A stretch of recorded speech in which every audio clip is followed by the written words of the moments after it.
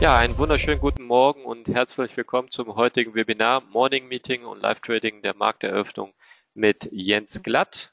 Mein Name ist äh, Nelson Cardoso Neto und ich begrüße Sie im Namen von FX Flat und CapTrader. Ähm, ich will gar nicht so viele Worte verlieren, aber bevor ich zum Jens äh, weitergebe, einmal natürlich wie immer den Risikohinweis. Dieses Webinar dient nur zu Schulungszwecken. Ähm, bitte nichts, was heute vorgestellt wird, als Empfehlung verstehen und Sie müssen Ihre eigene Entscheidung treffen. Das ist ganz wichtig an der Stelle. Und äh, ja, dann leite ich auch direkt schon an Jens weiter. Guten Morgen, Jens. Und äh, bin gespannt auf deine Ausführungen heute zum Markt. Ja, das bin ich auch in der Tat. Äh, so, jetzt müsste man mein Bildschirm sehen. Ich habe auch nochmal die Slide und auch gleich den Risikohinweis nochmal. Ähm, ja, einen wunderschönen guten Morgen auch von mir. Ähm, wir sind weiter vom Glück geküsst, möchte ich sagen. Es gab schon die eine oder andere ähm, äh, Vorstellung mal, Webinare, ähm, die ich in der Vergangenheit gehalten äh, habe. Das, besonders wenn man so rund ein Jahr zurückschaut, ähm, da war es äh, doch sehr, sehr ruhig am Markt. Volatilität ist nahezu komplett ausgetrocknet gewesen und die Zeiten sind vorbei. Ich ähm, hatte heute Morgen, glaube ich, äh, eine Statistik gelesen, wo wir ich weiß gar nicht, fast 100 Tage müssen es gewesen sein. Die genauen Zahlen kann ich mich nicht mehr erinnern, wo wir fast 100 Tage auf eine einprozentige Bewegung wieder warten mussten. Ähm, seit den sehr starken Turbulenzen im Februar diesen Jahres im US-Equity-Bereich, also im US-Aktienmarkt. Und ähm, jetzt haben wir solch eine Bewegung in vier von fünf Tagen zu sehen bekommen, wenn ich das jetzt äh, richtig mich erinnere. Fakt ist auf jeden Fall, wir sind auch weiterhin sehr volatil unterwegs. Ich habe gestern Abend ähm, auch noch mit Freude, ehrlich gesprochen, ähm, die Entwicklung am US-amerikanischen Aktienmarkt ähm, verfolgt, beobachtet. Und ähm, das Tolle ist, dass wir das aus diversen Gründen heute ähm, nochmal aufgreifen wollen, unter anderem auch um den Handelsansatz, den ich hier vorstellen werde, ausgehend von wo wir jetzt gleich die Markteröffnung im DAX ähm, attackieren werden. Ja, ich habe schon einen Trade offen, den habe ich äh, den habe ich laufen, das ist eine, eine, eine saisonale Geschichte. Dazu habe ich mich auch gestern Abend entschieden. Auch dazu werde ich noch ein bisschen was sagen. Ähm, das normalerweise ist es ein Systemansatz, aber nichtsdestotrotz ähm, habe ich da eine diskretionäre Intervention, wie man das verstehen kann, wie gesagt. Ähm, das werde ich gleich mal ganz kurz erklären. Und ähm, ja, ich habe das ausgehend, wie gesagt, aus von den Entwicklungen des gestrigen, des gestrigen Abends eben noch gemacht. Oh, bevor, jetzt sehe ich gerade, ich habe noch eine zweite Slide, eine dritte Slide hinten dran. Ähm, das nochmal der Hinweis, wir werden gleich im Laufe des, äh, des Webinars auf eine Webseite gehen. Das ist eine Buchwebseite. Und zwar erscheint am 3.12. mein äh, Buch im Finanzbuchverlag. Der ist äh, nochmal an mich herangetreten. Ich habe schon eins mal zum Thema Forex Trading geschrieben und fand das total super. Das war eine super Erfahrung ich dachte mir, damit ist es das gewesen. Und ähm, dann ist der Finanzbuchverlag jetzt vor kurzem, also vor kurzem, vor anderthalb, zwei Jahren ungefähr, nochmal an mich herangetreten und fragte, ob ich nochmal Interesse hätte, ein Buch zu schreiben, denn das erste war so ein riesen Erfolg, ausgehend von Verkaufszahlen und so weiter. Ähm, und ich habe mich erst so ein bisschen geziert, habe dann aber schlussendlich doch eingeschlagen und äh, das ist das Werk, was jetzt am 3.12. eben veröffentlicht wird. Ähm, Bewegt zur profitablen Handelsstrategie. Einige Gedanken daraus haben wir bereits in der Webinarserie hier mal präsentiert ähm, mit FX Flat und CupTrader zusammen. Und einige Gedanken, die wir jetzt auch gleich live ähm, unter realen Marktbedingungen sehen werden, ähm, die werden sich oder die finden sich auch dann detailliert nochmal beschrieben, ausbeschrieben, eben entsprechend im Buch. Der Webseite findet man unter anderem Monte Carlo Simulator, mit dem werden wir gleich noch ein bisschen arbeiten. Ähm, das ist, glaube ich, eine ganz interessante Herangehensweise, weil wir haben einfach ähm, zwar ein Buch und das wird viele werden das kennen. Es gibt sehr, sehr gute Literatur. Nichtsdestotrotz ist es immer so, du kaufst dir das Buch, liest das Buch und das war's dann. Und ähm, ich habe mir überlegt, wie kann man das zu einem wirklich guten Lernen, äh, zu einer sehr guten Lehrerfahrung machen, Lernerfahrung machen.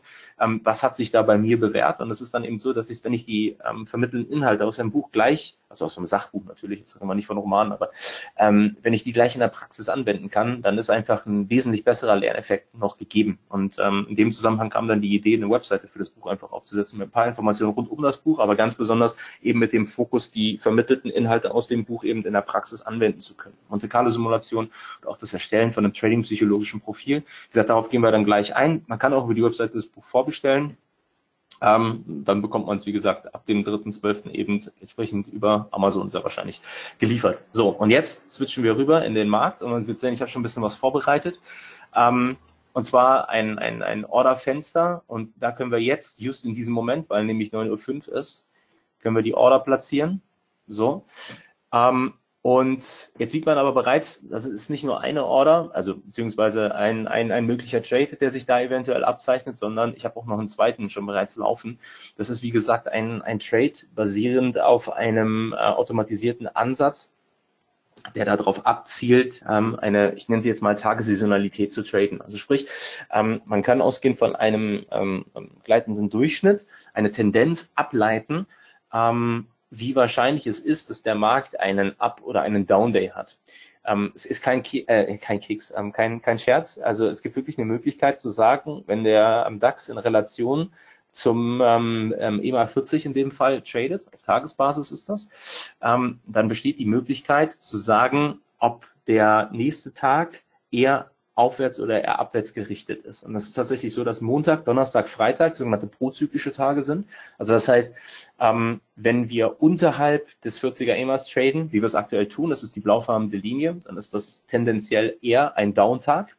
Ähm, das heißt also prozyklisch Bedeutet, wir handeln unterhalb des 40er EMAs, also in Richtung Short. Und Mittwoch, äh, Dienstag und Mittwoch sind sogenannte antizyklische Tage. Das heißt, dort tendiert der Markt eher dazu, eine Gegenbewegung anzusetzen. Das heißt also, dann handeln wir zwar unterhalb des 40er EMAs, aber traden den entsprechend von der Long-Seite. Und ähm, es ist eben auch so, wie mit jedem anderen Handelsansatz, der funktioniert mal super gut und der funktioniert eben mal weniger gut. Ähm, es ist immer so, dass das, das relativ plumpe, aber dennoch greifbare Beispiel. Du kannst noch so ein ähm, ein profitables Geschäftsmodell haben, zum Beispiel eine Eisdiele an einem Strand. Ähm, die sollte über den Sommer erstmal gefühlt in Anführungsstrichen beziehungsweise nachvollziehbar sollte die Geld verdienen, ja, ähm, weil es ist grundsätzlich eine gute Idee, eine Eisdiele zu haben über den Sommer Eis zu verkaufen und das eventuell noch in Strandnähe. Problem ist natürlich nur, es gibt auch einen Sommer, in dem es mal regnet. Und ähm, genau so kann man sich eine Handelsstrategie eben dann auch vorstellen. Es gibt einfach Marktumfälle, in denen funktioniert die sehr, sehr gut und es gibt welche, in denen funktioniert sie halt nicht gut.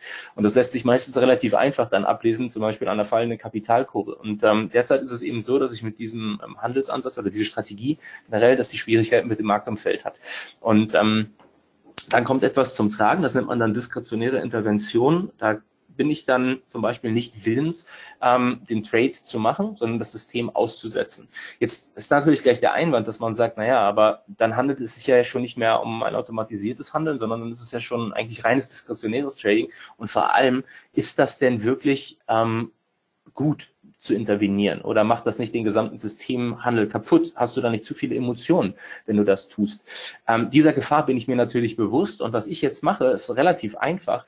Ähm, es gibt ja die Möglichkeit, eine Strategie über ein Demo-Trading, also dann nennen wir das Basisstrategie, laufen zu lassen, während ich über mein live gehandeltes Konto diese nicht umsetze. Und dann schaue ich mir einfach an, wie performe ich in Relation zu der Basisstrategie. Und das bedeutet jetzt zum Beispiel nichts anderes, als dass ich eben die Basisstrategie durchlaufen lasse. Und wenn das Ergebnis dann ähm, für den Tag ein Verlust, sagen wir mal, von 100 Punkten ist und ich habe den Trade nicht gemacht, dann habe ich ein 100 Punkte besseres Ergebnis als die Basisstrategie erwirtschaftet. Das gilt natürlich auch umgekehrt. Wenn ich jetzt 100 Punkte plus ertrade ähm, mit der Basisstrategie und den Trade nicht mache, dann ist das Ergebnis minus 100.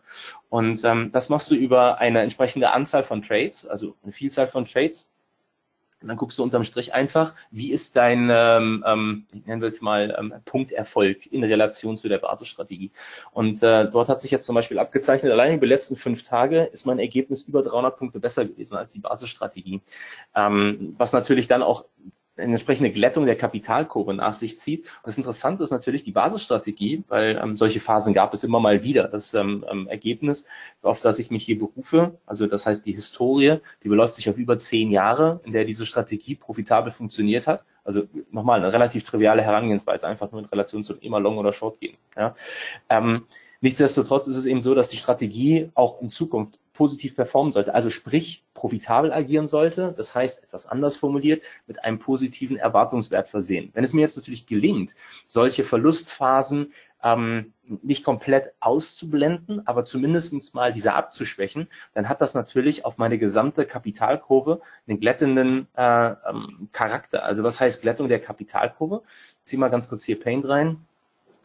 So, wir kommen gleich übrigens noch zu dem Trade. Ich habe die Order in den Markt gelegt, aber wenn man jetzt aktuell hier sieht, also ich kann deswegen über diesen, ähm, über dieses Sprechen jetzt hier ganz entspannt, weil ich eben weiß, dass der Trade frühestens getriggert wird, wenn wir neue Tageshochs markieren. Die waren bei 11.434 war es. Ähm, Den Trade auf der Long-Seite, den nehmen wir deswegen, weil wir auch hier einen EMA haben, das ist der 50er auf 5-Minuten-Basis und äh, wir gehen so lange long, wie wir auf der Oberseite traden ähm, von diesem EMA. Und deswegen haben wir jetzt hier aktuell auch noch ein bisschen Zeit. Also es sind jetzt 70 Punkte von den Tageshochs. Der Markt, nachdem er hier eine Bewegung jetzt in der Vorbörse auf der Oberseite fabriziert hat, korrigiert einen Teil dieser Aufschläge wieder. Ich bin aber dennoch sehr, sehr positiv. Ja, ähm, also wir lassen die Order auf jeden Fall im Markt stehen. Und während wir diese Order stehen lassen, beschäftigen wir uns nochmal mit der Glättung der Kapitalkurve. Ich mache das jetzt sehr grob. Nehmen wir mal davon aus, eine Kapitalkurve optimal wäre natürlich, dass die sich trendig, sequenztechnisch so bewegt. Ja? Steigende Hoch, steigende Tiefs. Das ist jetzt kein Aufwärtstrend, sondern das ist meine Kapitalkurve. So. Und jetzt ist es eben so, dass dann, jetzt machen wir es mal mit Rot, ähm, mein Ziel im Grunde genommen ist, diese Rücksetzer, die wir hier ähm, haben, nach Möglichkeit abzuschwächen. Also das heißt, ein Großteil dieser Bewegung hier ähm, mitzunehmen, Aufwärtsbewegung. Wenn es dann zu einer Korrekturbewegung kommt, kleinere Korrekturbewegung haben und nach Möglichkeit eben entsprechend hier den, äh, den Rücksetzer, diesen, diesen potenziellen kurzfristigen Drawdown eben, ähm, bevor es dann zu neuen Kapitalkurven hochgeht, eben äh, zu vermeiden. Ja, so. Und dann den nächsten Upswing zu nehmen. So, jetzt sagen wir mal, vielleicht funktioniert die nicht ganz, wir kommen nicht ganz bis zu den Hochs hier, ja, weil wir auch mal auf der Gewinnseite natürlich falsch liegen. Also das heißt mal einen Trade auslassen, der sich am Ende als profitabel herausgestellt hat. Ähm, aber nichtsdestotrotz, dass wir dann, das wäre jetzt vielleicht so die aktuelle Phase, jetzt haben wir ein bisschen größeren Rücksetzer, den ich sehe, der sicherlich schon emotional belastend ist, aber nichtsdestotrotz, der passabel, also es ist noch in Ordnung. In Relation zu der Basisstrategie performe ich halt besser. Und deswegen ähm, sind die, ist die Handelsentscheidung, die ich aktuell treffe, ist die eine gute, sei mit einem positiven Erwartungswert versehen. Und dann versuchen wir eben hier auf diesem Weg, dann ist es nämlich das, was wir hier nicht verloren haben, wenn wir dieses komplette Stück wieder nehmen, in der Lage, diese Outperformance zu generieren. Und das zieht sich dann immer so weiter. Und wir sehen, es lassen sich komplette Kapitalrücksetzer nicht vermeiden, denn wir werden keine Trefferquote von 100 Prozent mit diesem Ansatz erreichen. Aber um was es eben geht, ist, die Rücksetzer entsprechend eben ähm, kleiner zu gestalten. Und dann über die längerfristige Sicht, also zum Beispiel über ein Jahr, ein grundsätzlich besseres Ergebnis zu generieren. So, das ist die Glättung der Kapitalkurve, um die es da geht. Das ist diese sogenannte diskretionäre Intervention. Und ähm, das ist eben genau das, was ich eben mit diesem, diesem saisonalen Ansatz so nennen wir ihn mal, ja, abhängig vom, vom, vom Handelstag eben dann anstrebe. Und äh, wo ich mich heute entschieden habe, nach der Price Action von gestern, ähm, entsprechend hier ähm, den Trade dann heute zu machen, den antizyklischen Trade zu machen. Und ähm, ich habe natürlich diverse Gründe, warum. Ich habe gestern, wie gesagt, Price Action hier im US-amerikanischen Markt beobachtet. Ähm, wir haben ja, die letzten 15 Handelsminuten eine ziemliche dramatische Entwicklung zu sehen bekommen. Das ist jetzt ein 15-Minuten-Chart. Ich ähm, habe jetzt schon mal hier uns eine 200-Tage-Linie reingelegt und so weiter. Die ist alles, das aus dem, aus dem Tageschart. Wir wollen uns aber kurz die Price Action mal von gestern anschauen, was da passiert ist in den Abend hinein. ähm, und diese, diese, diese Kursentwicklung übrigens hier von gestern, die sollte man sich auch ganz kurz merken. Das ist nämlich etwas, was für den Open Range Ansatz ähm, eine ziemlich interessante Angelegenheit dann wird, wo man erkennen kann, worauf ziehen wir eigentlich ab? Was, was sind denn in Anführungsstrichen optimale Marktbedingungen ausgehend von dem Open Range Ansatz, ähm, die wir gleich dann noch en Detail betrachten werden. Und ähm, Grundsätzlich ist es so, dass wir versuchen, aus einer vorher definierten Handelsspanne für den Tag eine Trendstruktur zu erwischen. Worum es dann geht, ist dann eben entsprechend ein groß, eine, möglichst eine große Trendbewegung intraday zu sehen zu bekommen. Und gestern war es dann so, dass der US-amerikanische Markt, nachdem er sich erstmal recht stabil zur Eröffnung präsentiert hat, dann auf der Unterseite verabschiedete. Wir hatten zunächst auch übrigens eine Long ähm, Order im Markt. Das hatte den Grund, weil wir uns hier an einem EMA orientiert hatten, nämlich Moment, einfügen. So. Den lege ich jetzt mal in, welche Farbe haben wir hier noch verwendet? Oh, pink. So. Das ist nämlich der 11er EMA auf 15 Minuten Basis. Funktioniert identisch an die Herangehensweise. Äh, nee, Verzeihung, das ist nicht der 11er, das ist äh, der 10er. Verzeihung, Verzeihung. Das macht jetzt keinen großen Unterschied, aber nichtsdestotrotz Ordnung muss sein. So.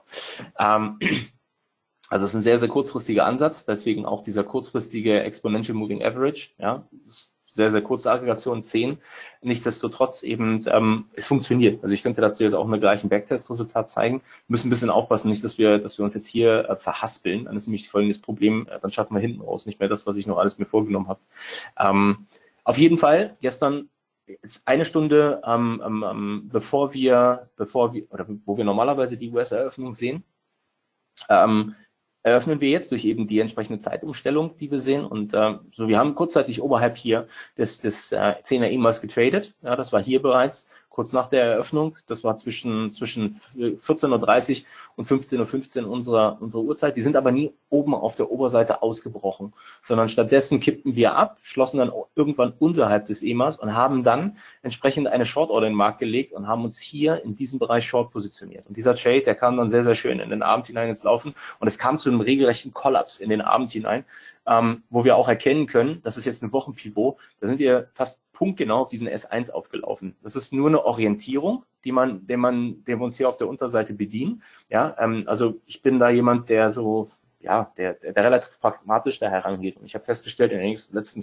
Tagen, dass Pivotpunkte wieder relativ gut funktionieren. Deswegen beziehe ich die dann in meine ähm, Analysen eben entsprechend mit ein. Wir sind da fast punktgenau drauf gelaufen. Wir haben alleine hier in dieser Kerze, in, den, äh, in der letzten halben Stunde, haben wir über ein Prozent eingebüßt. Das war also schon eine relativ dramatische Bewegung auf der Unterseite. Und dann ist was ganz Interessantes passiert. Äh, und das habe ich eben ganz genauestens auch beobachten können. Wir sind dann nämlich plötzlich hier ähm, sehr dramatisch gedreht und haben nicht nur diese Verluste der letzten, der letzten ähm, ähm, dieser 15-Minuten-Kerze wieder gut gemacht in den letzten 15 Handelsminuten, sondern wir haben einen Aufschlag gesehen von 40 Punkten oder fast zwei Prozent. Also eine, eine sehr, sehr, sehr, sehr grüne, bullische Kerze.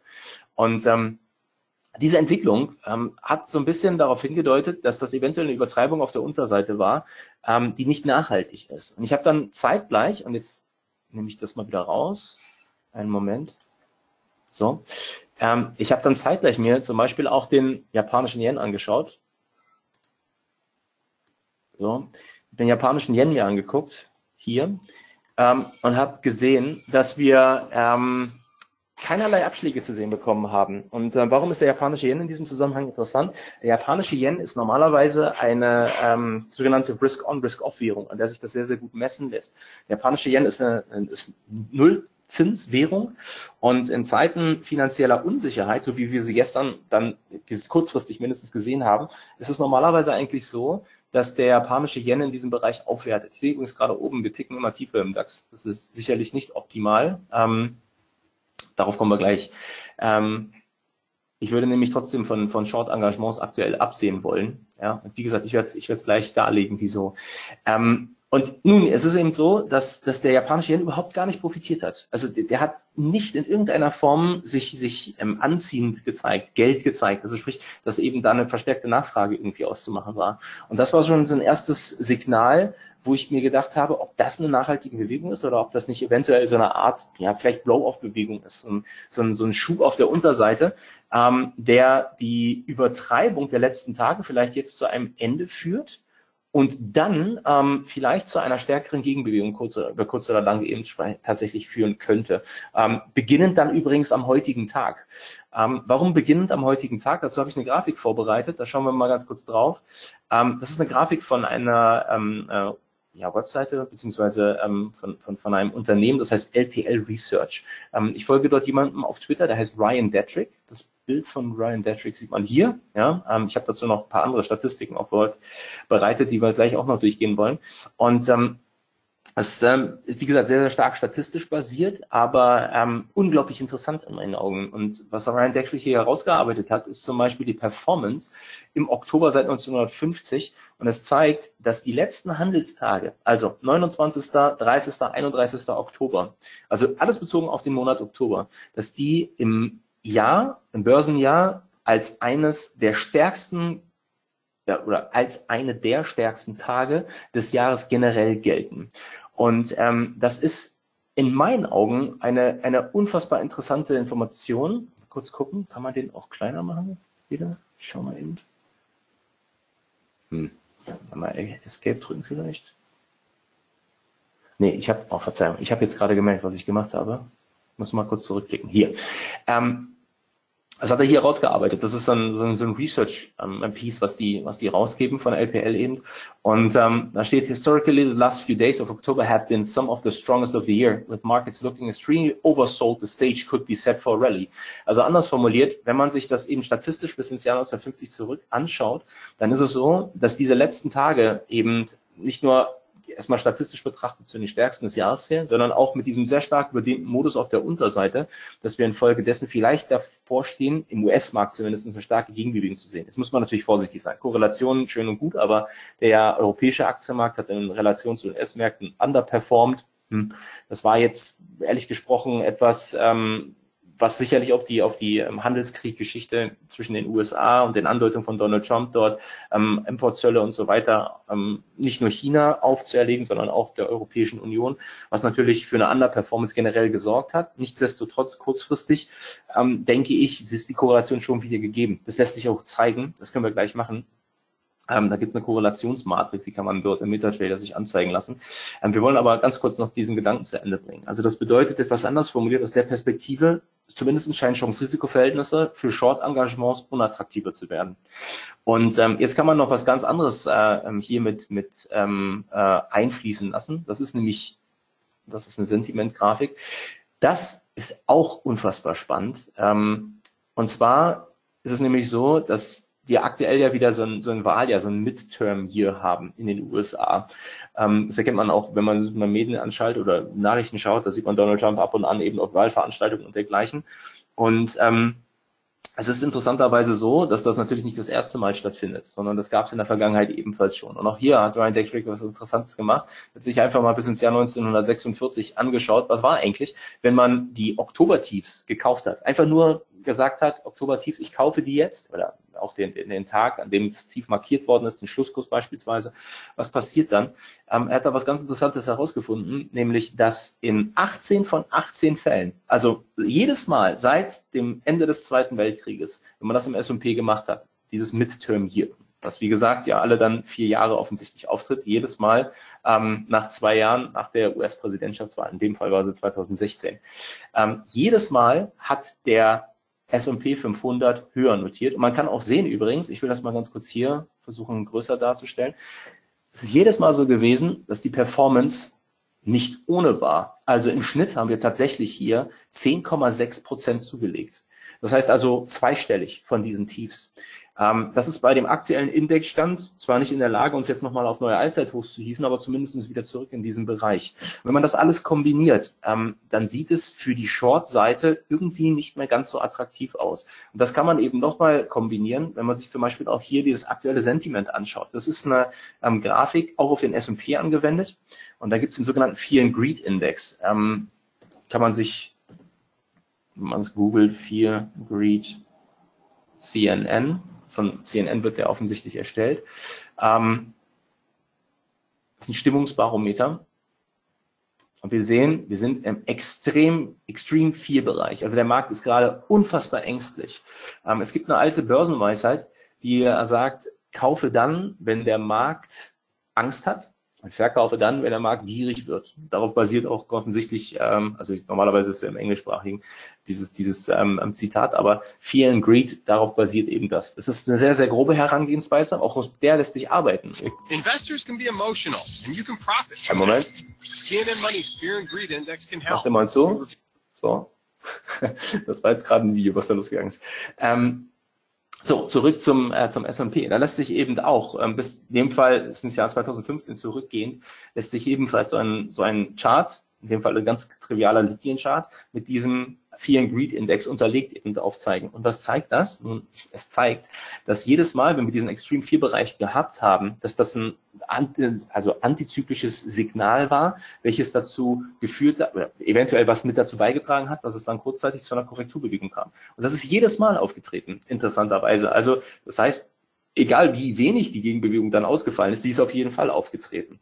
Und wenn ich das alles kombiniere, dann wird's halt für die US-Märkte auf der Unterseite irgendwie ein bisschen dünn. Also ich habe das Gefühl, dass wir jetzt langsam sicher in einen Bereich laufen, der dann doch sehr, sehr dramatisch ist. Natürlich sind das alles nur Statistiken, es sind nur alles Indikationen, aber es unterstreicht eben auch, was kurzfristig an Gegenbewegungspotenzial besteht. Und wenn ich das alles kombiniere, auch mit der gestrigen Beobachtung, der erneuten starken Abwärtsbewegung in den letzten Handelsminuten, dem Ausbleiben ähm, dessen, äh, dem Ausbleiben des, des, des, des Anziehen des japanischen Yen zum Beispiel, dann ist das alles unterm Strich in der Lage, mich grundsätzlich positiv zu stimmen und dann dazu zu führen zum Beispiel, dass ich eben hier bereit bin, auch einen antizyklischen Trade im DAX eben aufzusetzen.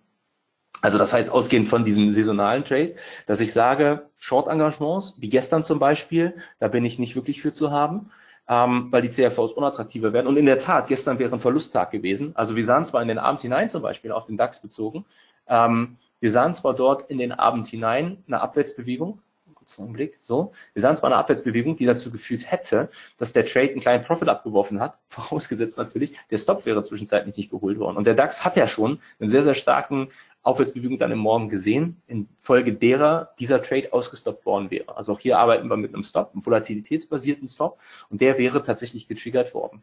Ähm, das Interessante ist jetzt übrigens, dass genau dieser Bereich auch für den heutigen Tag hier eine Relevanz darstellt. So, ich ziehe das mal ein bisschen kleiner kurz. Den brauchen wir übrigens nicht hier. Kartoffelfenster löschen. So, das sind die Hochs von gestern. Ähm, ich hatte in meiner technischen Betrachtung für den gestrigen Tag den Bereich um 11.400, 430 Punkte schon ähm, herausgearbeitet gehabt. Ähm, und das resultierte hier aus diesem, aus diesem Zwischenhoch, was wir dort am 23. und 24. ausgearbeitet haben, also letzte Woche Dienstag, Mittwoch. Da gab es einen Widerstandsbereich, ausgehend von welchem dann es nochmal zur Abwärtsdynamik in den ähm, ja, in den Wochenschluss hinein, beziehungsweise schon bereits am Mittwoch kam. Da haben wir dann neue Jahrestiefs eben tatsächlich markiert. Und dieser Bereich hier auf der Oberseite, der wurde gestern fast punktgenau wieder angelaufen. Also daraus resultiert diese rotfarbene Linie hier auf der Oberseite, die auch heute früh in der Vorbörse angelaufen wurde. Und jetzt wird es halt ganz interessant. Wir haben zwar immer noch eine enorme Volatilität, das zeigt sich alleine durch die Tatsache, wenn wir uns die fünf Minuten eben anschauen. Also wir haben die ganzen Gewinne jetzt gerade wieder hergegeben. Nichtsdestotrotz ähm, drehen wir jetzt schon bereits wieder gegen diese Tagestiefs, die hier kurzzeitig markiert sind, auf der Oberseite an und ich wäre wenig überrascht, wenn wir eventuell sogar noch in den nächsten 30, 35 Minuten, die das Event jetzt hier dauert, ähm, nochmal eine Attacke auf die Tageshochs sehen. Also muss ich ganz ehrlich sagen, es käme wirklich wenig überraschend. Die Volatilität bleibt hoch, also das bedeutet, man sollte auch entsprechend natürlich ähm, die Risiken, die, die, die Risiken generell in seinen Positionen anpassen, beziehungsweise auch die Volatilität mit in seine Stopweite einfließen lassen. Ähm, oder ich formuliere es mal um. Ähm, ich finde es immer wieder spektakulär, wenn ich von, von Tradern höre, lese, also die in solchen mega volatilen Marktumfelden angeblich mit einem 10-Punkte-Stop profitabel agieren wollen. Finde ich, finde ich echt sportlich, weil ich kann mir das fast gar nicht vorstellen, dass das überhaupt möglich ist, wenn man sich, wenn man sich diese enorme Volatilität hier vorstellt. Nicht, dass es unmöglich ist. Ich sage nur, dass ich es ähm, timingtechnisch schon wirklich phänomenal finde, ähm, sowas, sowas dann wirklich zu lesen. Ähm, aber zurück, wie gesagt, zu dem, zu dem, zu dem aktuellen Stand, jetzt zurück zu der Stunde. Das, was ich jetzt interessant finde, ist, sollte dieser Bereich auf der Oberseite rausgenommen werden, und das impliziert übrigens dann auch, warum ich zum Beispiel hier nur die Long-Seite dann, oder warum ich gerne die Long-Seite traden werde, so will ich es mal formulieren. Das hat damit zu tun, weil ich einfach einen unglaublichen Schub erwarte auf der Oberseite, der uns realistisch sogar bis in den Bereich um 11.650, 11.700 Punkte führen kann. Und das findet der eine oder andere jetzt vielleicht schon mal ein bisschen überraschend, weil wir müssen uns immer Folgendes vor Augen führen. Wir sind jetzt hier von den Tagestiefs ja bereits dann in der in den Hochs 100 Punkte gelaufen. Und wenn ich da nochmal Aufschlagspotenzial von 250, 300 Punkten sehe, dann reden wir ja plötzlich von 350, 400 Punkten Handelsspanne für den Tag. Und in der Tat wäre das etwas, was, wenn man sich die letzten Handelssessions anschaut, überraschend käme. Also hier haben wir nämlich einen Indikator, der nennt sich, Moment mal kurz, ich muss mal kurz schauen, wie der ganz genau heißt. Daily Range Indikator heißt er, ne? Genau. Hier. Das ist ein Indikator, falls Interesse bestehen sollte, ähm, ja, kontaktiere mich gerne oder schreibe dem Nelson einfach eine Mail, dann lasse ich dem Nelson den Indikator zukommen. Ähm, das ist ein Indikator, der ist frei verfügbar für, für den MetaTrader und ähm, den nutze ich deswegen so gerne, weil er das einfach super gut aufbereitet und auch hier zum Beispiel dann ähm, Room Up, Room Down noch berechnet. Ähm, was ist damit gemeint? Also er schaut sich erstmal an, die durchschnittliche Schwankungsbreite, die kann ich dann für mehrere Tage mir anschauen, also zum Beispiel die Vortageshandelsspanne, das ähm, hier Previous One Day Range, ja, das ist also die Handelsspanne von gestern, die lag bei fast 300 Punkten. Ja, guckt sich aber auch zum Beispiel die ähm, durchschnittliche Handelsspanne der letzten fünf Tage an. Also das heißt, er rechnet die letzten fünf Tage auf, teilt das Ganze durch fünf und berechnet mir dann die durchschnittliche Handelsspanne hier von 300 Punkten. Also gestern, der Tag, der sah zwar sehr volatil aus, lag aber in der Tat im Bereich der Schwankungsbreite der letzten fünf Tage. Und ähm, insgesamt ist es auch so, die letzten zehn und die letzten 20 Tage, genauso macht er das dann eben entsprechend auch, letzten zwei Handelswochen beziehungsweise letzten Monat, da liegen wir bei 250 Tagen. Das liegt aber alles noch unterhalb dessen, was ich gerade sagte, mit 350, 400 Punkten. Nichtsdestotrotz bin ich dennoch relativ optimistisch, ähm, dass wir auch mal eine Übertreibung auf der Oberseite sehen können. Denn, und jetzt wird es interessant, das, was der DAX gestern hier auf der Unterseite dann im Abend produziert hat, das war US-Markt induziert. Also das bedeutet, was anders formuliert, wenn die US-Märkte nicht gewesen wären, habe ich persönlich das Gefühl, hätte der DAX einiges an Aufschlagspotenzial noch heute auf, ähm, ähm, gehabt, beziehungsweise ähm, ich habe heute früh folgenden Gedanken formuliert, was wäre eigentlich jetzt, wenn die US-Märkte vielleicht dann tatsächlich mal so eine Stärke, so einen Push bekommen. Also wir haben gestern gesehen, ähm, über die US-Eröffnung, der DAX, der konnte sich relativ lange auf hohem Niveau stabilisieren. Also wenn man sich das hier mal anschaut, das war dann in den, in den Nachmittag hinein, die starke Abwärtsbewegung, die wurde erst dann in den Abend initiiert. Der hat sich aber lange Zeit im Bereich um so ungefähr 11.400 Punkte halten können. Und ähm, sollte das eben heute wieder gelingen, ja, ähm, und in Ergänzung mit dieser Signifikanz dieses Bereichs, dann finde ich es durchaus realistisch, dass wir auf der Oberseite diesen, diesen Lauf noch hinlegen können. Und deswegen bin ich tatsächlich für die, für die Long-Seite recht positiv gestimmt, auch wenn bis jetzt kein Trade initiiert worden ist. Und ich natürlich auch ernsthafte Gedanken machen müsste äh, bezüglich dieses, dieses ähm, Gedankens, wenn wir jetzt tatsächlich nochmal stärkeren Abwärtsdruck eben tatsächlich sehen, der natürlich weiterhin jederzeit gegeben ist, solange wir auf der Stunde, und dann zoomen wir mal ein bisschen raus, solange wir unterhalb hier dieses Bereiches um 11.670, 11.700 Punkte, vielleicht sogar unterhalb hier von 11.850 Punkten notieren. Also die Abwärtsstruktur, fallende Hochs, fallende Tiefs, die bleibt auf jeden Fall weiterhin gegeben. Und da ist der Vorteil auf der Short-Seite zu suchen. Nichtsdestotrotz glaube ich, dass Engagements der Long-Seite aus diversen Gründen ähm, attraktiv sein könnten, attraktiv sein dürften und bin auch durchaus willens, eben da mal den einen oder anderen Versuch eben tatsächlich dann, auch wenn antizyklisch ausgehend von der mich dominierenden Zeitebene, ähm, ähm, ähm, eben, na, dass da antizyklische Bewegungen oder starke Aufwärtsbewegungen eben anstehen könnten. So, ich gucke mal kurz in die Chatbox. Habe gesehen, dann kamen noch mal zwei Fragen.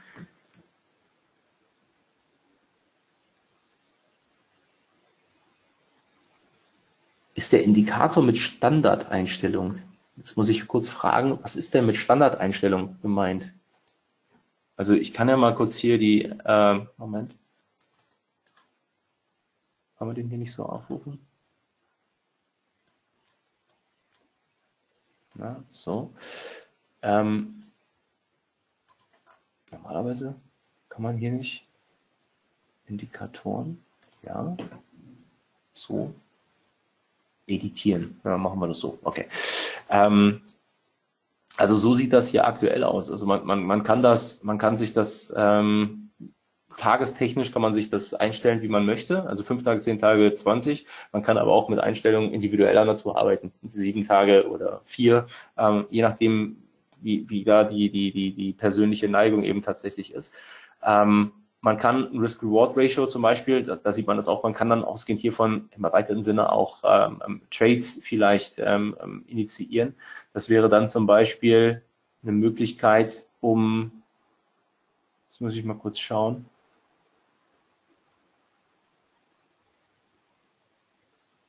ach, das habe ich gar nicht eingeführt. Okay, nee, den Gedanken lassen wir, äh, den, den lassen wir weg. Also ich nutze das nicht aus trading-technischer Sicht, sondern nur, um hier diese reine Information mir zu ziehen. Man kann den aber auch ähm, Chance-Risiko-Verhältnistechnisch zum Beispiel hier dann für den, ähm, für den, für den, ähm, für Handelsentscheidungen, schnelle Berechnung der Handelsentscheidung könnte man den heranziehen. Also eventuell beantwortet das die Frage schon, falls nicht, äh, dann stelle man einfach die Frage nochmal. Okay, perfekt. Sehr gut. So, also das zum äh, zur aktuellen Markteinschätzung. Wir haben uns jetzt sehr auf den DAX fokussiert. Ich muss sagen, der DAX äh, ist auch, hat, oder generell die Equity-Märkte finde ich aktuell sowieso sehr, sehr spannend. Und spannenderweise ist es so, auch besonders nach der EZB, ähm, in Relation zur Volatilität, die wir im Equity-Bereich sehen, äh, ist der Devisenmarkt aktuell relativ unattraktiv. Also wenn ich mir Euro-US-Dollar zum Beispiel anschaue, erst recht. Also das ist, das ist wirklich eine, eine nicht hanebüchende Vorstellung, aber zumindest mal doch eine sehr, sehr dürftige. Ähm, ich persönlich ja, ich will nicht sagen, ich bin enttäuscht, aber zumindest mal, da kommt nicht wirklich was bei rum aktuell. Also Trends, stärkere Trendbewegungen und dergleichen sehen wir wirklich primär im Equity-Bereich.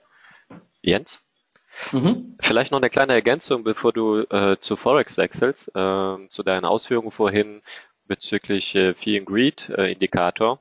Ich habe dir, ich habe dir noch einen Link geschickt zu einer interessanten Grafik, was jetzt auch verstärken würde, der Gedanke, dass äh, der äh, S&P tatsächlich jetzt, jetzt wieder nach oben gehen könnte.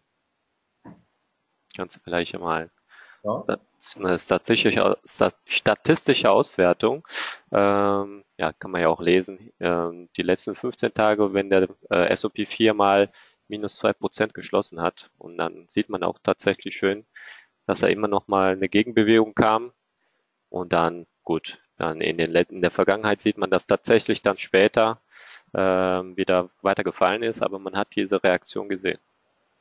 Das passt auch, glaube ich, ganz gut ähm, zu, äh, zu diesem Gedanken auch Jahresendrallye. Also wenn man das jetzt mal rein ähm, äh, so saisonal betrachtet, wir laufen historisch jetzt wirklich in ein bullisches Zeitfenster. Ja. Und ähm, ich kann wirklich alles und jeden verstehen, der sagt, ich bin echt skeptisch, ob da noch so viel auf der Unterseite folgt. Also nicht, dass es nicht passieren könnte. Das steht immer auf einem anderen Blatt, das sind alles nur Statistiken.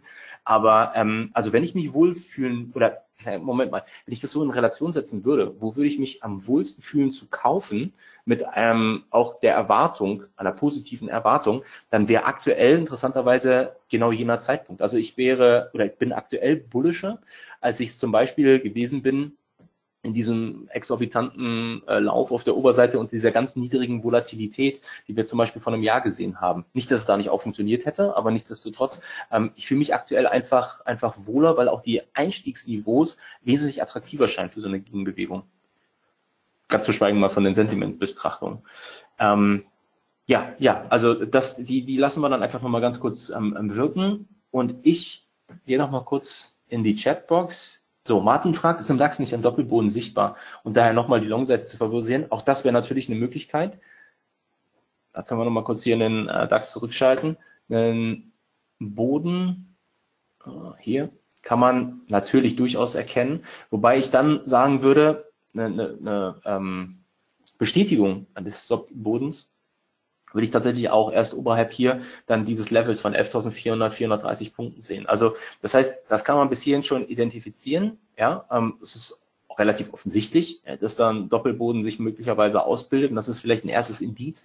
Aber ein Unterstreichen sehe ich tatsächlich erst, sobald wir hier über die 11.400 laufen, also die, beziehungsweise 430, 450, so dieser Bereich, die Rotfarbenlinie rausnehmen, dann würde ich sagen, ist das ein Vollzug dieses Doppelbodens und weiteres Aufwärtspotenzial ähm, würde dann freigesetzt werden. Vielleicht in Breite dieser, dieser Range, ähm, dann sind wir ja, in der Tat nochmal bei 400 Punkten auf der Oberseite. Also können Sie sogar bis 11.800, 11.900 Punkte geben. Aber nichtsdestotrotz, bevor wir da die Attacke sehen, sehen wir aktuell, dass offensichtlich der Wille, neue Tageshochs zu markieren, derzeit nicht ganz so gegeben ist, sondern es werden eher neue Tagestiefs. Das ist alles andere als optimal.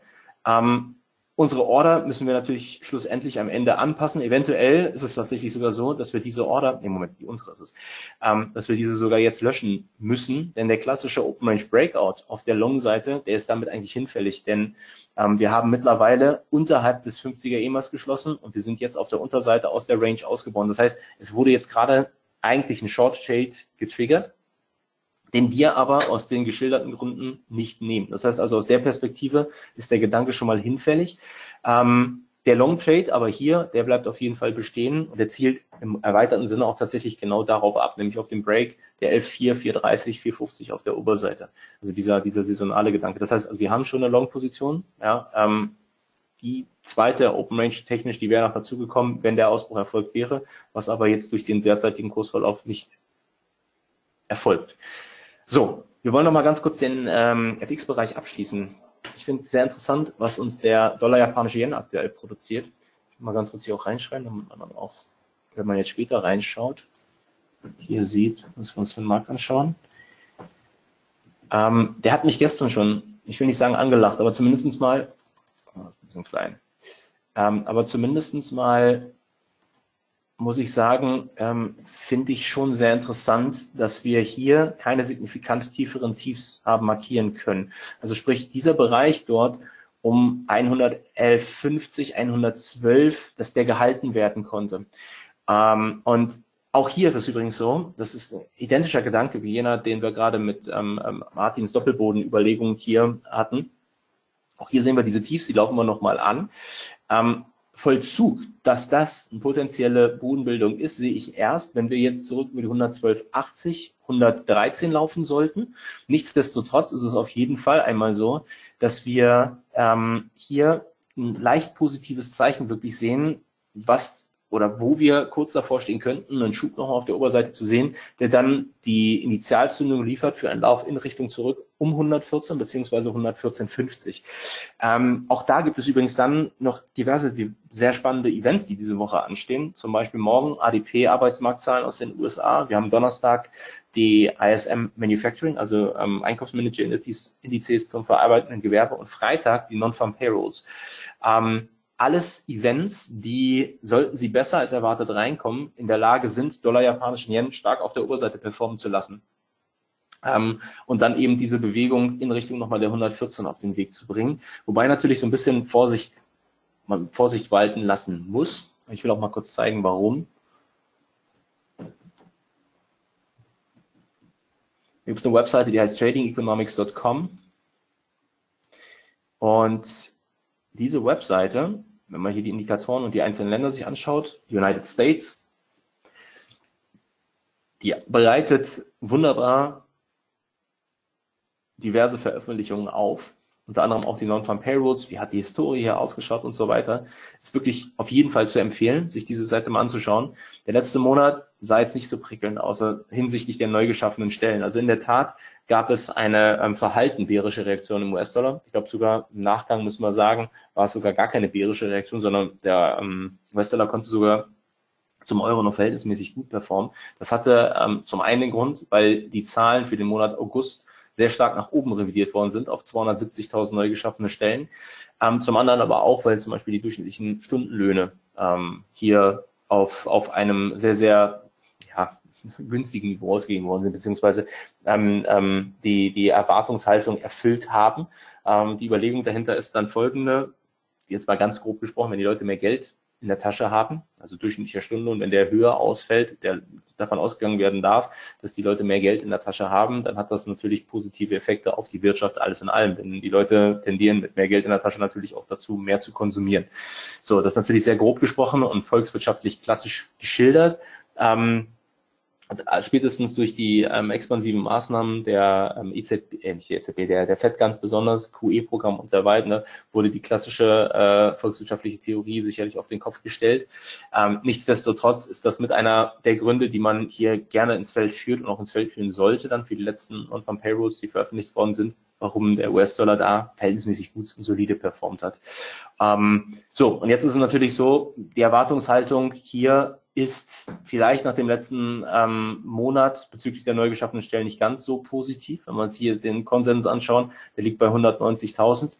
Aber jetzt ist die nächste Überlegung folgende, nämlich sollten diese Zahlen besser als erwartet kommen oder die erwartet verpflichtet werden und auch die Zahlen für den letzten Monat vielleicht nach oben revidiert werden, sich zeigen, dass die erste Schätzung hier ähm, vielleicht etwas pessimistisch war, dann ist es so, dass das natürlich für den US-Dollar durchaus positive Auswirkungen haben könnte. Es könnte nochmal einen Push auf der Oberseite im US-Zins nach sich ziehen und wissend um, und dazu hole ich mal noch eine andere Grafik auf den Schirm, kurz noch einen Blick, jetzt muss ich mal schauen, die habe ich noch nicht vorbereitet, das habe ich schnell gefunden glaube, ich hatte sie schon mal gezeigt. Das ist eine Grafik aus meinem, aus meinem ersten Buch gewesen. Ähm, hoppala. Moment. So. Das ist eine Grafik aus meinem ersten Buch gewesen. Bezüglich der Korrelation. Also deswegen erkennt man auch hier unten, äh, dass das zwar bis ins Jahr 2003 zurückgeht, aber halt im Juli 2014 endet. Das erste Buch ist im Jahr 2014 im November veröffentlicht worden. Und ähm, man erkennt eben die Rendite zehnjährige US-Staatsanleihen und Dollar-Yen, die haben eine sehr stark positive Korrelation zueinander. Also anders formuliert, stark der eine, sollte der andere steigen und umgekehrt. Und ähm, das hat sich zwar in der letzten Zeit so ein bisschen aufgelöst, diese Korrelation, die ist nicht mehr ganz so stark gegeben, aber sie ist dennoch weiter erkennbar. Und das heißt, sollten die Zahlen dann besser veröffentlicht werden, ähm, und deswegen sind Non-Farm Payrolls und Dollar-Yen eben sehr stark miteinander verbandelt und normalerweise sieht man eine erhöhte Volatilität im Dollar-Yen. Ähm, dann ist es eben so, dass man sagt, hey, das äh, könnte dann durchaus auch nochmal ein Treiber sein für den Dollar-Yen, sollten die Zahlen besser als erwartet ausfallen, denn das würde eher zinstreibend fun ähm, ähm, ähm fungieren oder also bullischen Impuls für den Zins nach sich ziehen. Und das könnte, wie gesagt, dann diese Rückeroberung der 113 initiieren, die vielleicht jetzt sogar schon bereits antizipiert wird. Also das heißt, das nimmt man dann vorweg. Alles in allem sieht das aber recht positiv aus, Dollar-Yen. Plus übrigens, das noch final dazu. Plus noch dazu die Tatsache, dass wir ähm, hier eine ähm, ähm, dann vielleicht Risk-On-Neigung sehen. Also gute Zahlen vom Arbeitsmarkt. Das muss man auch da ein bisschen das größere Bild vielleicht betrachten. Also die äh, FED entscheidet ja im Dezember das vierte Mal nee, beziehungsweise, nee, das ist nicht ganz richtig, ähm, entscheidet darüber, ob sie das vierte Mal in 2018 den Zins anhebt. Und die Wahrscheinlichkeit hier, die wird aktuell von mindestens 75 Prozent gesehen, denn das war das letzte Fed-Statement, was veröffentlicht worden ist, nämlich dass 12 von 16 ähm, genau diesen vierten Zinsschritt erwarten. Und das war dann auch das, was der Zinsmarkt tatsächlich erwartet hatte, beziehungsweise was man im sogenannten Fed Watch Tool hat sehen können. Das Fed Watch Tool gibt an, wie hoch sieht der Terminmarkt die Wahrscheinlichkeit, dass es hier zu einer Zinsanhebung kommt. Und ähm, interessanterweise durch die Turbulenzen in der Vergangenheit, auch vielleicht begünstigt durch die Kommentare von Donald Trump, die waren schon am wann war es, 10.10., 11.10., ich glaube am 10.10. waren es, nachdem der Dow Jones das erste Mal so einen scharfen Rücksetzer gesehen hat, oder der US-Aktienmarkt generell, hat er gesagt, uh, the Fed's gone crazy, or I think the Fed's gone crazy. Das heißt, er hat ähm, im Grunde genommen den, den, die stärkere Volatilität am Aktienmarkt darauf zurückgeführt, dass eben die Fed mit ihrer, mit ihrem Zinsanhebungszyklus, den sie dort auf den Weg gebracht hat, ähm, einen Teil dazu beigetragen hat, dass der Aktienmarkt korrigiert ist. Der Gedanke ist übrigens nicht so fern, weil auch Jay Powell ähm, diesbezüglich schon einige Andeutungen gemacht hat. Aber kommen wir zurück zu dem, zu dem Gedanken, ähm, dass wir aktuell, ist, ist diese Wahrscheinlichkeit wieder leicht gestiegen. Gestern lag sie noch bei, sehen wir es hier, vor einer Woche waren es ungefähr 71 Prozent, aber sie liegt unterhalb der 75er Marke. Also 12 von 16 stimmberechtigten FED-Mitgliedern sehen die FED mit einem vierten Zinsschritt im Dezember. Der Terminmarkt sieht aktuell eine reduzierte Chance. Und das kann, sollte eventuell darauf zurückzuführen sein, dass eben ähm, der Markt sagt, nun, das, was wir an Turbulenzen gerade sehen im Aktienbereich, könnte die FED dazu veranlassen, genau diesen Zinsschritt nicht auf den Weg zu bringen. Auch wenn es nur eine kleine Wahrscheinlichkeit ist, aber sie ist gegeben. Und ähm, das ist natürlich jetzt ganz interessant, weil jeglicher schwache Datensatz, also sprich, wenn die Non-Farm Payrolls wirklich unter der Erwartung veröffentlicht würden ähm, oder die durchschnittlichen Stundenlöhne die Erwartungshaltung des Marktes nicht erfüllen können, jeder Datensatz, der in diese Richtung veröffentlicht wird, ist in der Lage, diese Spekulationen zu schüren. Und dieses Schüren der Spekulation und ein Fallen dieser Spekulation vielleicht sogar in einem Bereich um 50-50. Also das setzt, wie gesagt, voraus, dass die Non-Farm Payrolls wirklich schwächer veröffentlicht werden oder sämtliche Datensätze aus den USA, wäre aber durchaus in der Lage, hier Sorgen zu schüren, ähm, dass die Fed von solch einem Zinsschritt absehen könnte. Das hätte nicht nur relativ katastrophale Folgen für den Dollar, der infolgedessen sehr stark unter Druck geraten dürfte. Und dann reden wir auch nicht mehr von der 114, 114,50 im Dollar Yen, sondern eher von der 110 in mein, meiner Meinung nach, kurzfristig mindestens. Sondern es könnte auch sein, dass ein schwacher Datensatz vom Arbeitsmarkt nochmal stärkere Volatilität für den ähm, Aktienmarkt nach sich zieht, denn da würden natürlich nicht Zinssorgen geschürt werden, ähm, sondern da würden Sorgen über die grundsätzliche ähm, Stabilität der US-Wirtschaft dann plötzlich aufkeimen. Wir erinnern uns dran. Wir haben ähm, vor einigen Monaten schon bereits mal einen relativ stark abflachenden Zinsstrukturkurve in den USA gesehen. Ähm, und äh, diese abflachende Strukturkurve und beziehungsweise die Möglichkeit zu einem Invertieren dieser, also sprich das kurzfristige ähm, Anleihen einen höheren Zins auswerfen, als es längerfristige tun. Das ist in der Vergangenheit ein Indiz dafür gewesen, dass wir kurz vor dem Abdriften in einer Rezession standen. Ist auch relativ einfach erklärbar. Ähm, der kurzfristige Zins orientiert sich primär an dem Ausblick des ähm, Zinsausblickes der FED. Und desto aggressiver die an der Zinsschraube drehen, ähm, desto stärker steigt kurzfristig der Zins, um beispielsweise ein Überhitzen der Wirtschaft eben ähm, ähm, ähm, einzudämmen, die Wahrscheinlichkeit, ein, ein zu starkes Anziehen der Inflation. Aber dann kommt nämlich die Kehrseite, ein zu aggressiv anziehender Zins dämpft eben auch das kurzfristige Wirtschaftswachstum, was dann auch längerfristige Auswirkungen hat und sorgt dafür, dass langfristig die Zinsen fallen, weil dort der Markt eher ein moderateres bis schwaches Wirtschaftswachstum erwartet. Und so kommt diese Invertierung dann der Zinsstrukturkurve zustande. Und dieses Invertieren, wie gesagt, deutet dann längerfristig auf eine Rezession hin. So in dem Moment, wo die Non-Farm Payrolls jetzt ähm, enttäuschen, auch wenn es nur ein Datensatz ist, und das ist eigentlich nur einer von vielen, besteht aber diese Gefahr verstärkt. Ähm, und das könnte sein, dass diese, diese Angst, diese Sorgen auf den dann auch Aktienmarkt durchschlagen und dann schwacher Datensatz die Non-Farm Payrolls irgendwie stärker unter Druck, äh, den, den, den S&P nochmal stärker unter Druck bringt. Dow Jones, also den US-Aktienmarkt generell. Ja, ähm, jetzt merke ich gerade selber, das ist ein unglaublicher Schwall an Informationen, den ich hier äh, gerade über euch ähm, ausschütte. Ich hoffe, dass das nicht ähm, zu dramatisch ist. Äh, falls Fragen sein sollten, wie gesagt, fühlt euch frei, bitte diese Fragen zu stellen. Also falls jetzt irgendwas sein sollte, wo ihr sagt, das würde ich schon gerne mal äh, nochmal näher erklärt haben, erläutert haben. Ähm, während ihr euch diese Gedanken zu den Fragen macht, switchen wir ganz kurz mal zu der Webseite vom Buch die ich ja gerade versprochen hatte. Jetzt haben wir folgendes Problem, wir haben leider keinen Trade basierend auf dieser Strategie, aber ich hatte initial versprochen, dass wir noch mal kurz einen Blick darauf werfen, wie diese Webseite und auch dieser Monte Carlo Simulator ähm, hier auf eine Handelsstrategie angewendet werden kann. Ja? Dann klickt man hier oben einfach auf Monte Carlo Simulator, dann sieht man, man kann diverse Input-Parameter reinstecken, also Startkapital, wir gehen mal von 10.000 Euro aus, wir simulieren hier 500 Trades. Ähm, wir haben eine Gewinnchance. Und da arbeiten wir jetzt mit einer Kennzahl ähm, aus einem Backtest-Resultat, die liegt bei 42 Prozent. Ähm, normalerweise liegen diese Open Range Trefferquoten so im Bereich zwischen 45 bis 48 Prozent. Phasen, wo es recht gut läuft, sind es 48 Prozent, ähm, gehen manchmal sogar in den Bereich in die 50 Prozent. Dann aber wie gibt es auch Phasen, in denen es eben nicht so solide läuft. Da sind dann eben 45 Prozent, vielleicht sogar weniger. Das Interessante ist, dass das Backtest-Resultat, welches ähm, ich rede vom Backtest-Resultat. Sollte ich vielleicht mal eine Grafik zeigen. Kurzen Augenblick, jetzt muss ich ihn mal kurz rausholen. So, wo habe ich sie? Hier müsste es sein. Ein Augenblick. Ja, ich ähm, mache noch kurz eine zweite Folie auf. Hier eine Folie, die ich in dem Webinar, in der Webinarserie hier hatte. So, wo haben wir es, wo haben wir es, wo haben wir es? Da.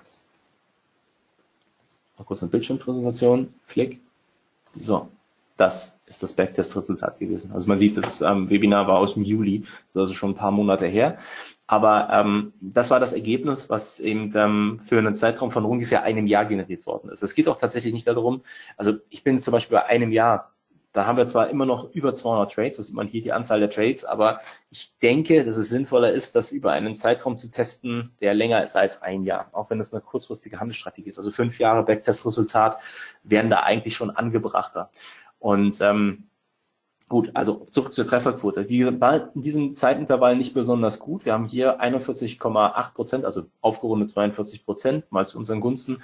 Ähm, eine Trefferquote gehabt. Nichtsdestotrotz war das Ergebnis dennoch positiv und das wurde begünstigt durch ein sehr, sehr positives Payoff-Ratio. Das ist das Verhältnis durchschnittlicher Gewinner zu durchschnittlichen Verlusten gewesen, was bei 1,57 zu 1 lag. Also durchschnittlicher Gewinn sieht man hier 157,07 Euro der durchschnittliche Verlusttrade lag bei 99,70 Euro.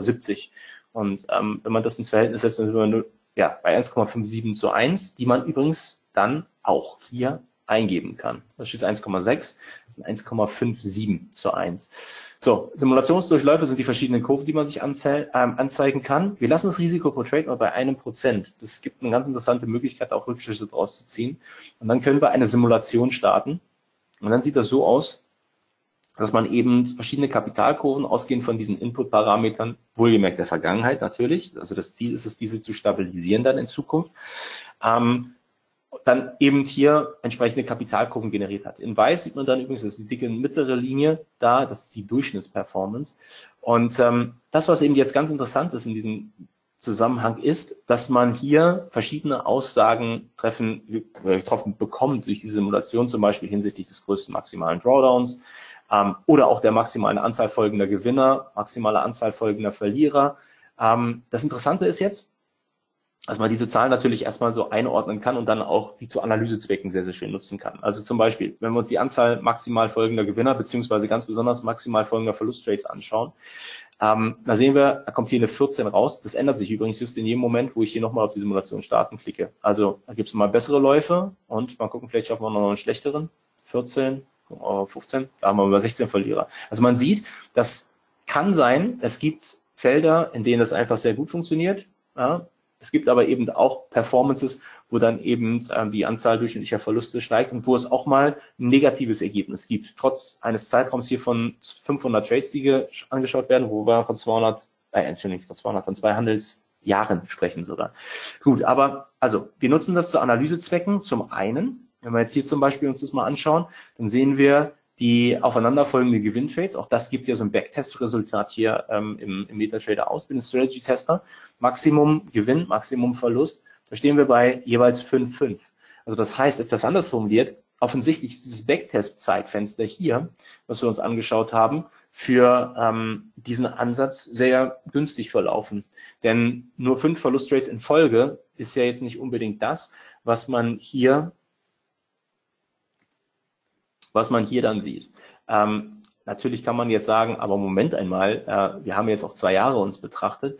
Ähm, unterm Strich ist es aber so, dass selbst dann, wenn ich jetzt hier 225 eingehe, Anzahl der Trades, selbst dann eine Verdoppelung bei der ersten, beim ersten Simulationslauf ähm, erzielt werden kann. Ja, und ähm, das bedeutet also, das ist zum Beispiel ein sehr günstiges Zeitfenster gewesen. Das heißt, unser Optimismus, der sollte sich in Grenzen halten. Das ist ein profitabler Ansatz, ähm, besonders wenn ich diese Parameter stabilisieren kann. Profitabel bedeutet, wir traden mit einem positiven Erwartungswert. Nichtsdestotrotz ist das dennoch etwas, ähm, wo wir ein bisschen Vorsicht walten lassen sollten. Und jetzt kommen die interessanten Rückschlüsse. Das ist erstmal die reine Analyse, die wir aber auch aus mentaler Perspektive dann mit einfließen lassen können.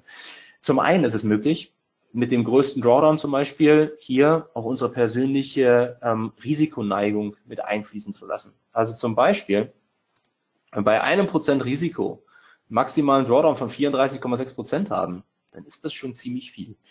Ähm, und auch für äh, ganz besonders für professionelle ähm, ähm, Trader, und zwar nicht nur jene, die ähm, Geld mit dem Trading verdienen, um damit ihren Lebensunterhalt zu bestreiten, sondern auch für zum Beispiel Vermögensverwalter. Ähm, es gibt sicherlich ähm, Handelsansätze, wo derjenige, welche Investor sich ganz von sich aus bereit erklärt, mit solchen Kapitalrücksetzern, Drawdowns ähm, eben äh, sich zu arrangieren und zu sagen, ja, das ist aber in Ordnung, der Ansatz ins grundsätzlich macht Sinn und ist profitabel auf langfristige Sicht und ich habe diese Geduld, das auszusitzen. Ähm, nichtsdestotrotz muss man eben doch ganz klar sagen, eigentlich, und das ist auch etwas, was ich in meinem eigenen Trading anstrebe, arbeite ich hier mit maximalen Drawdowns von 10 bis 15 Prozent. Wenn ich jetzt bei diesem Handelsansatz einem Prozent Risiko eben einen Drawdown habe, der signifikant oberhalb dieser Schwelle von 10, 15 Prozent liegt, dann habe ich eigentlich nur eine Möglichkeit. Ich muss das Risiko entsprechend reduzieren. Würde zum Beispiel dann jetzt ja haben, ich sagen, ich halbiere das, ich arbeite nur mit einem halben Prozent. Das ist übrigens ja auch nur eine Strategie. Auch selbst da sieht man aber, ähm, das ist natürlich jetzt sehr günstig, es sind trotzdem noch 24 Prozent Risiko, äh, 24 Prozent maximaler Drawdown. Also das bedeutet, ähm, man hat hier in der Tat ähm, eine Möglichkeit, eine relativ gute Sensibilisierung zum einen für das Thema Risiko schon zu erhalten. Was aber zum Beispiel auch ganz wichtig ist, ist die mentale Stabilität, die einem äh, das verleiht. Also was bedeutet das? Nun, auch wenn das alles eine Simulation ist ähm, und, und das eine Erwartungshaltung natürlich suggeriert oder eine Erwartung suggeriert, ähm, wo man beim Trading vorsichtig mit sein sollte, denn aus Erwartung erwächst meistens auch wirklich ähm, negative Emotionen hinsichtlich Enttäuschung wenn die Erwartung nicht erfüllt wird.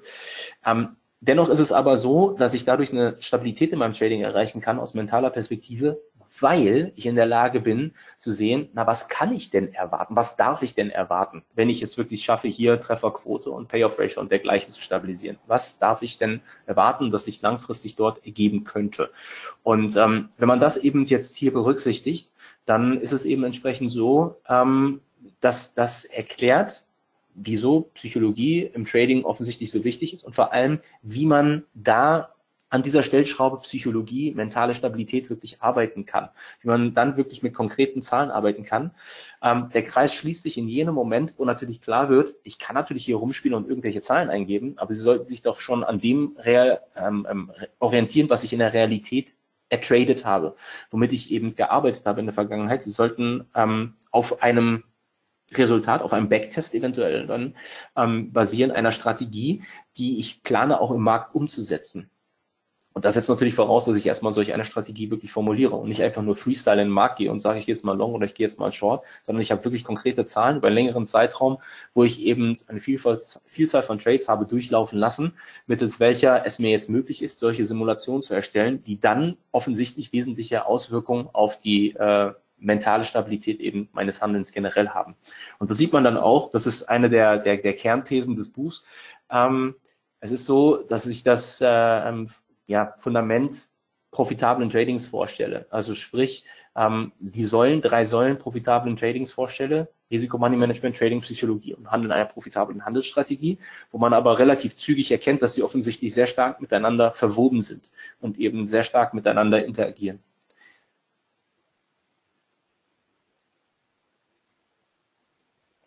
Ähm, ja, in der Tat. Ähm, ich, äh, ich höre die Kritik zwischen den Zeilen, äh, das ist Live-Trading.